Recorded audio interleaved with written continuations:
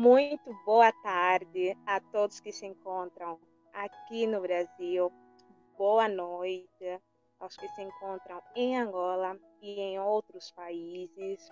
Eu sou a Vilma Sampaio, angolana. Moro no Brasil há nove anos. Sou formada em fisioterapia e pós-graduada em doenças reumatológicas pela Universidade Federal de São Paulo. Eu faço parte da Associação dos Estudantes Angolanos, na qual eu sou a vice-presidenta. E em alusão ao mês de abril, que é um mês com datas importantes e comemorativas, como o dia 4 de abril, que é o Dia da Paz, o dia 14, que é o Dia da Juventude Angolana, a nossa associação teve a iniciativa de realizar esta live com o tema Problemas no ensino e pesquisa em Angola. E desde já quero agradecer aos convidados por aceitarem participar desta live para contribuir no enriquecimento e na partilha de conhecimento entre nós também. E agradeço aos caros telespectadores por disponibilizarem do seu tempo para estarem conosco. E também os nossos votos de agradecimento são endereçados ao Consulado Geral de São Paulo por disponibilizar 70 cestas básicas à nossa Associação dos Estudantes Angolanos em São Paulo. E também aproveito para falar, se possível, fique em casa, fica em casa, continue seguindo as recomendações médicas de saúde e todos juntos contra a Covid-19, tá bom? Então, para dar o embasamento ao nosso tema que iremos abordar, que versa sobre os problemas do ensino em Angola, partindo de uma perspectiva histórica ou social, temos que começar no período colonial, por ser um marco de referência no surgimento do ensino em Angola. E quem irá iniciar a dar a palavra vai ser o convidado Zongo Armando. O Zongo Armando, ele é licenciado em Geofísica pela Universidade Agostinho Neto, está no segundo ano do mestrado em Geologia aplicada à tecnologia inovadora de petróleo e gás na Universidade de Moscou, na Rússia. Nesse exato momento ele está na Rússia. Por favor, pode começar, convidado Zongo. Ok, obrigado, Vilma, pela, pela boa apresentação que fez no geral. E, pô, a dica da cesta básica, espero que aqui também o consulado de Moscou esteja ouvindo, né? Pô, precisamos também de umas cestas ali, mais velhos. Verdade. ok. Ok, obrigado então pela, pela introdução. De fato, como você já me apresentou, uh, estou a fazer o segundo ano de mestrado, daqui a pouco a gente também vai terminar. Bem, falando sobre a questão de, de, do ensino em Angola, eu vou falar basicamente da questão do ensino durante a era colonial, né, durante o Estado português em Angola, como é que a gente esteve nessa temática. Bem, começando, é, nós sabemos que os portugueses em Angola chegaram em 1482, né? Aquela história que nós já ouvimos a falar a partir da quarta classe, a chegada do Diogo Cão na foz do Rio, do, do Rio Zaire, né? É, infelizmente, é, apesar deste tempo em que eles chegaram, conseguiram com, com, certeza se estabilizar no território, mas foi apenas em, mil, em 1845. Alô? Sim, pode falar, ah, pode falar. Ah, ouvi você chamando. Talvez poderia desligar o áudio enquanto. Porque aqui o pessoal consegue te ouvir quando você fala. Tá bom. Yeah. Ok, apesar dos portugueses chegarem em Angola nessa data em que eu já fiz referência, foi apenas em, 1845 em que foi criado o primeiro Estado oficial, né? a primeira escola oficial, então a primeira estrutura oficial de ensino. Bem, vamos partilhar isso em, em etapa para poder facilitar a compreensão. Não é que os historiadores tenham é, delimitado de fato conforme eu fazer, farei referência, mas vamos tentar facilitar a compreensão dividindo em fases em que eu vou fazer, é, vou fazer referência. Primeira fase, por podemos falar que essa fase 1, que foi criada a primeira estrutura oficial de ensino. Bem, na verdade, antes dessa estrutura já existia ensino, mas, não, tinha, não tinha aquela formalidade, não tinha aquela estrutura toda. Foi então a partir de 1845 que o Falcão José melhor que Joaquim José de Falcão, é, que na, naquela, época, naquela época era chamado de ministro de Estado, criou a primeira estrutura oficial de ensino.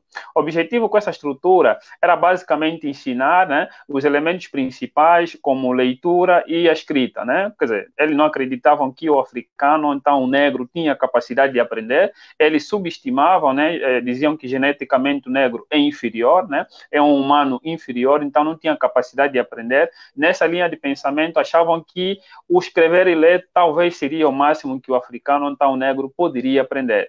Então, eh, essa escola de ensino foi criada na perspectiva de poder ensinar apenas escrever e ler eh, em termos básicos, né?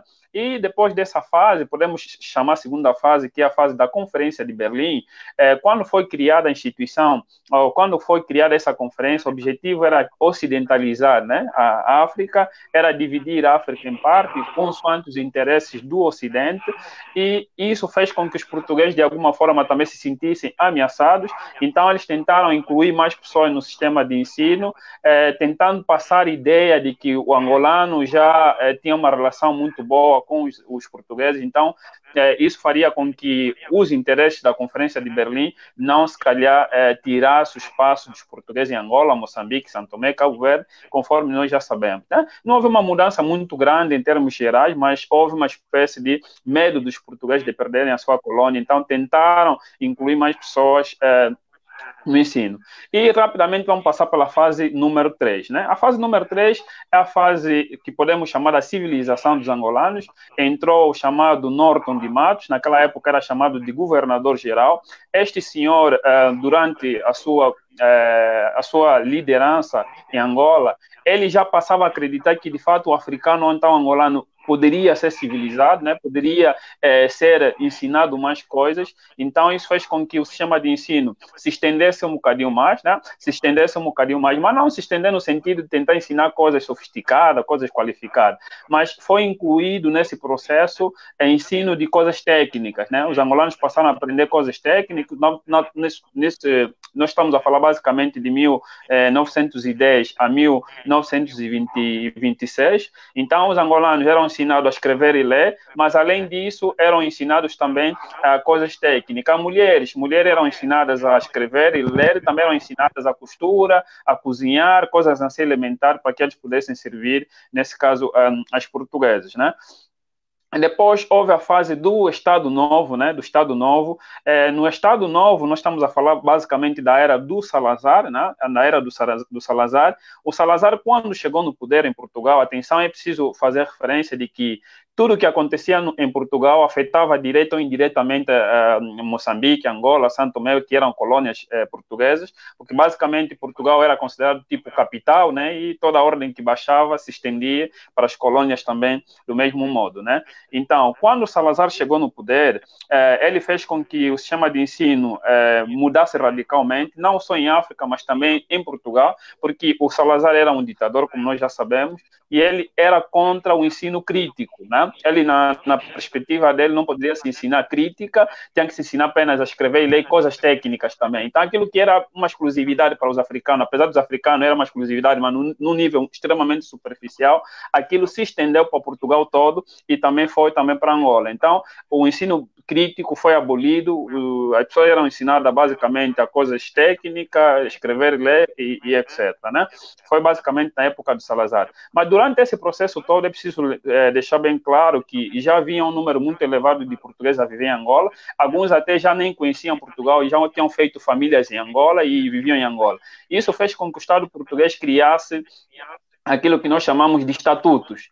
É, ele separou povos que são originalmente portugueses, naqueles que basicamente vieram de Portugal, e tinha povos em Angola que eles consideravam que portugueses angolanos, né, aqueles que é, apesar de terem sangue português, mas nasceram em Angola e vivem em Angola e têm família em Angola, e tinha estatuto para angolanos ou africanos civilizados, aqueles que já sabiam escrever e ler, né? aqueles africanos que já sabiam escrever e ler, e tinha estatuto para indígenas, né? aqueles que de fato não tinham noção de escrever nem ler. Então havia esses grupos separados e havia direitos e deveres para cada povo, era direcionado de forma diferente. Se você pertence a um grupo, você tinha um certo tipo de direito, se pertencia a outro grupo, também tinha direitos diferenciados.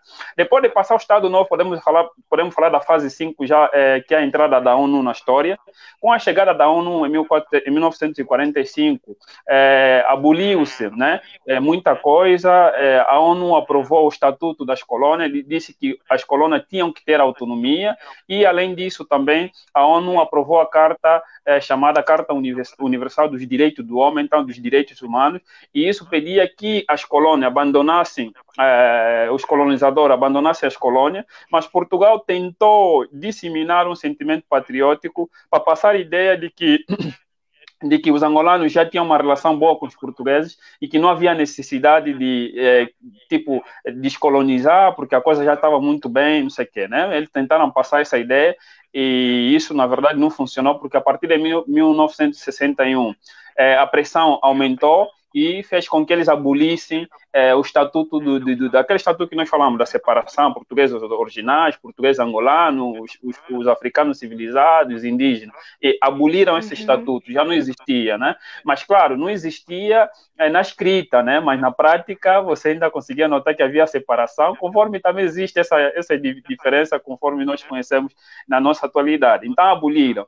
A partir de 1940, 1964, podemos aqui fazer referência, foi criada a primeira estrutura formal de ensino primário. Né? Então, foi nessa data em que os portugueses aprovaram uma, um, um, estatuto formal de ensino primário, porque antes disso não havia ensino primário nem secundário, só havia eh, ensinar o africano a escrever e a ler, só. Mas os portugueses que viviam em Angola, eles tinham ensino exatamente como era em Portugal. Né? Apesar de ele estar em Angola, mas o ensino dele era exatamente conforme era em Portugal. Mas para os africanos era só escrever e ler e bastava, mais nada não havia crítica, não havia nada incentivo nesse sentido. Foi em 1964 que se criou a primeira estrutura formal de ensino primário, e que fez com que é, muitos angolanos também tivessem acesso ao ensino, mas de forma gratuita, claro, a partir de 6 até os 12 anos, né, as crianças com essa idade, desculpa, tinham acesso à escola, e também houve uma influência muito grande das igrejas, né, é, diferente daquilo que nós ouvimos, tipo, os portugueses levaram lá os padres para poder fazer lavagem cerebral, a história não foi exatamente assim, os portugueses foram para Angola de forma, tipo, independente, e os, os jesuítas, né, que na verdade são os católicos naquela época, também chegaram em Angola de forma, tipo, independente, conforme é, se fazia naquela época. Só que os católicos, quando chegaram lá, estavam tentar pregar a fé, tinham dificuldade, porque as pessoas não sabiam escrever nem ler. Então achavam que pô, era importante primeiro ensinar as pessoas a escreverem e ler, depois pregar a fé. É, só que os portugueses começaram a se sentir ameaçados.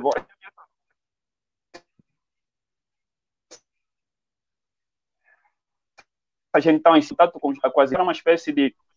Alô? Sim, consegue ouvir?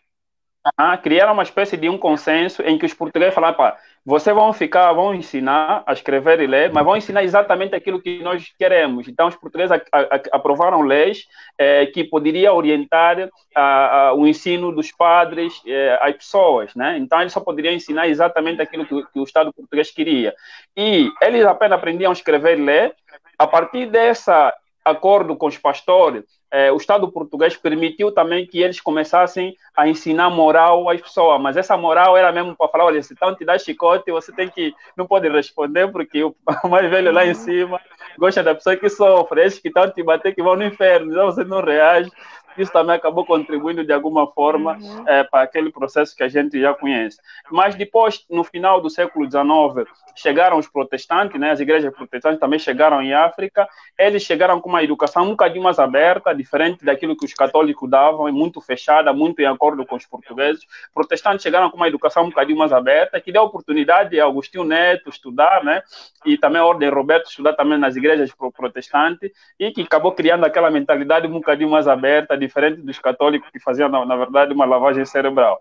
E a fase 6 foi já é, a fase de criação das universidades. As pessoas queriam frequentar a universidade e eles queriam a universidade em Angola, porque naquela fase já tinha pessoas que terminavam o ensino fundamental.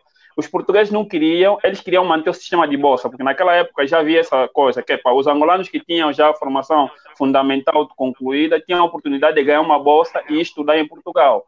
Yeah. E, mas só que os angolanos queriam que criasse uma universidade dentro de Angola. Os portugueses não queriam, porque eles tinham medo se haver um número é, elevado de pessoas a frequentar a universidade, vão ter formação superior e vão querer cargos que era cargo dos portugueses. Então eles não queriam que os angolanos tivessem cargo de, importante na, na República. Então eles criavam dificuldade. Então criavam todas as situações necessárias para que isso não acontecesse, né? Mas uh, foi a partir de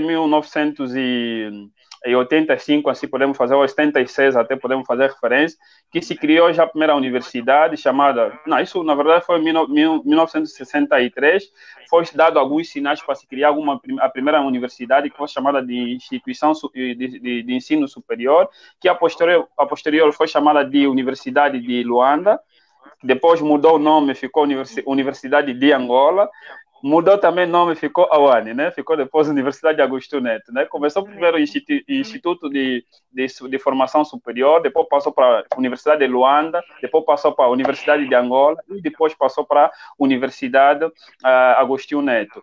Em 1999 foi criada a Universidade eh, Católica, né? Primeira universidade eh, privada, e a partir de 2017 surgiram as outras universidades, conforme nós sabemos. Bem, com a independência, Angola tinha 85% de analfabetos e era uma situação de fato extremamente alarmante.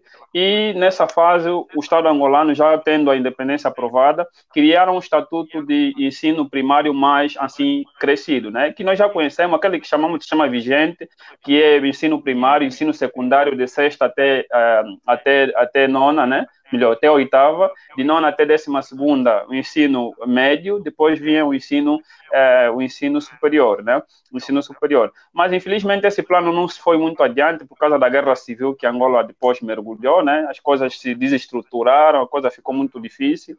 E quando a guerra terminou, ou perto da guerra terminar, nesse caso já em 2009, houve a cimeira do milênio de 2000, que aprovou já a reforma de educação, conforme nós já conhecemos, que é dividida em, em ensino primário, né? depois tem o ensino é, médio, né? o primeiro ciclo e o segundo ciclo, e depois tem o ensino superior, conforme a gente conhece atualmente.